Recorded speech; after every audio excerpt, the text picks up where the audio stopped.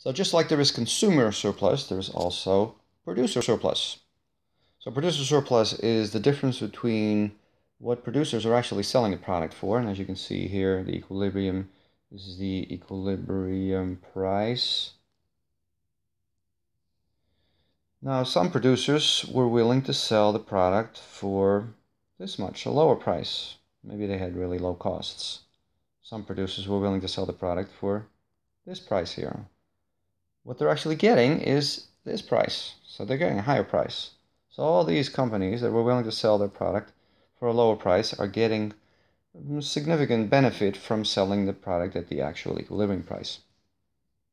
So what we can conclude then is that the mathematically the area inside this triangle here is the actual total producer surplus of all companies that are selling the product.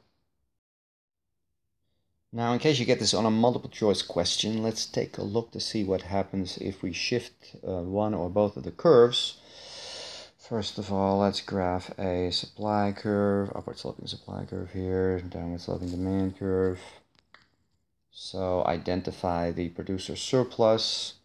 We can do that by drawing a line to the intersection point and then we know that this area is the producer surplus. And now let's say that the supply curve increases. So let's say supply increases.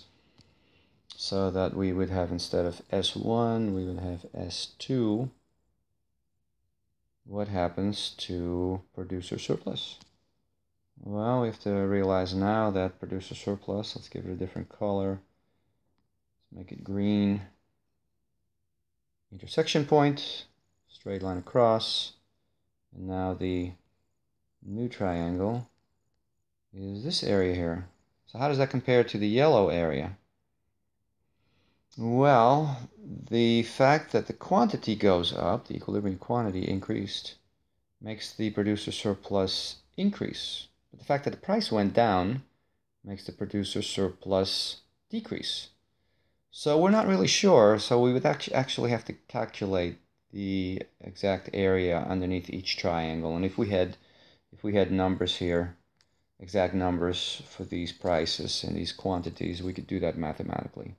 Right now, we would have to conclude we're not really sure if uh, from the yellow area to the green area, if producer surplus increases or not. And if you don't have exact numbers, you would say that the change is indeterminate. Now let's take a look in the next graph to see what would happen if we increased demand. Supply curve, demand curve. So we'll call that D1.